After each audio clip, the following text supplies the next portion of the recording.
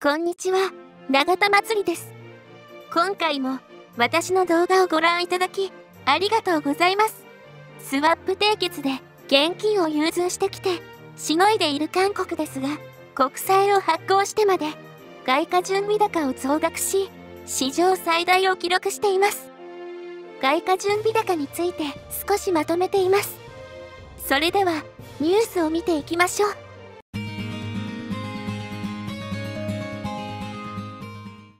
それでは、ニュースの詳細です。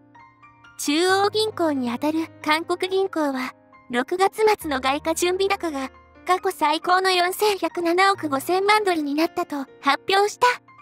中央銀行は、為替介入や輸入代金の支払いが困難になった時などに備えて外貨を準備する。韓国銀行は、今年1月末、外貨準備高が、それまでで最高の4096億5000万ドルに達したと発表したが、3月末には4002億1000万ドルまで減少した。その一方で、国策銀行の韓国輸出入銀行は流動性外貨がショートし、今年3月、サムスン電子に泣きついて借金を申し入れてもいる。韓国の金融界と財界は、ことあるごとに日韓スワップを口にして嘆くという。時の政権の人気取りと中銀の無策のツケを払い続ける悲劇である。韓国銀行は、外貨準備高が減った理由として、ドル高が進行し、ドル以外の外貨建て資産のドル換算価格が目減りしたことを挙げた。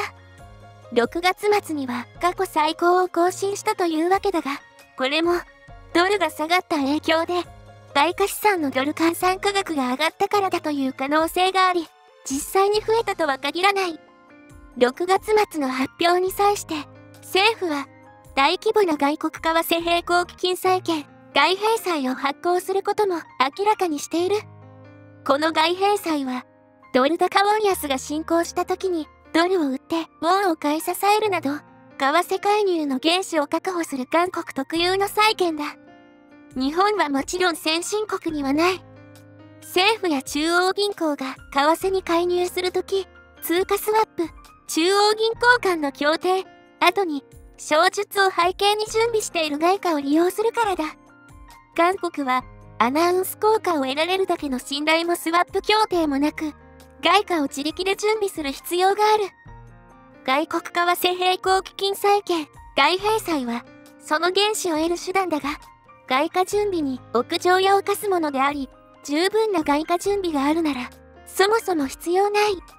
韓国企画財政部は、7、9月期に15億ドル規模の外幣債の発行を計画し、国内外の証券会社に入札提案要請書 RFP を発送した。韓国政府の外幣債発行残高は約9兆8000億ウォン、81億5800万ドルで、年3000億ウォンの利子を負担している。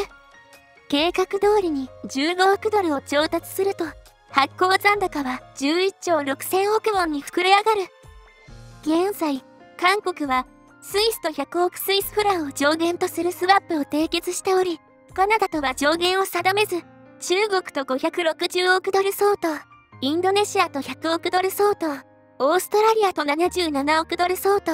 マレーシアと47億ドル相当の通貨スワップをそれぞれ締結しているが、いずれも相手国通貨による協定だ。基軸通貨は、カナダドルとスイスフランのほか、チェンマイイニシアティブのマルチ化契約による384億米ドルしかない。また、韓国のスワップは、カナダを除くと半分近くが中国だ。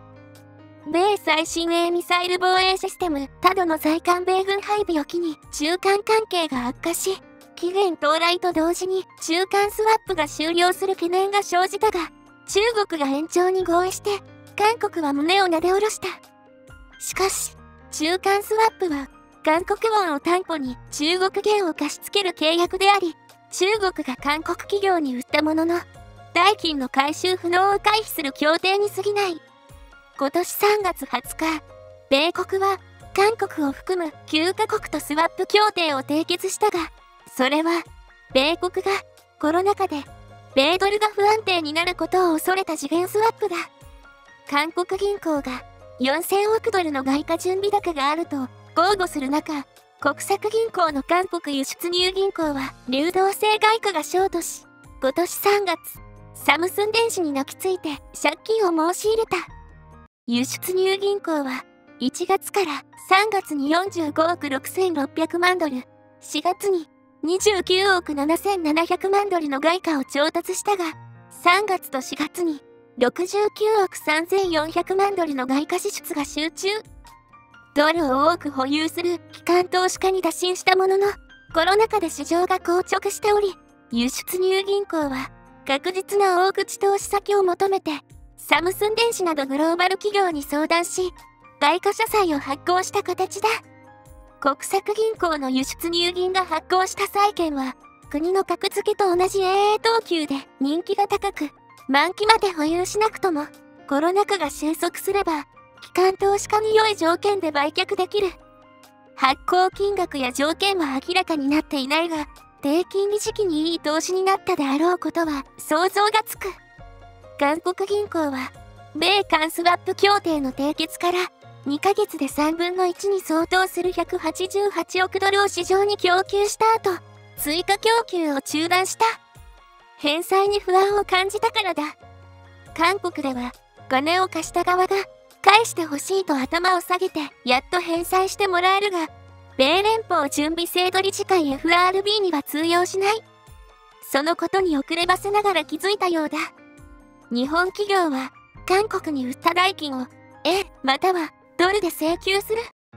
すべてを円で請求すると、円、ウォンのスワップ協定がない韓国は、保有するドルやユーロを売って円を買い漁るしかないからだ。買い漁りで円高が進行すれば、保有外貨の目減りは避けられない。それでは、ネットの反応です。サムスンに借りるって、これが国家。アメリカと通貨スワップしたんだろ？為替スワップな。サムスンにドルを借りて吸ったもんで利子をつけて返す。最後までご視聴いただき、ありがとうございました。コメントいただけるととても嬉しいです。皆様の応援で頑張れます。チャンネル登録、高評価お願いいたします。また、次回の動画も見てくださいね。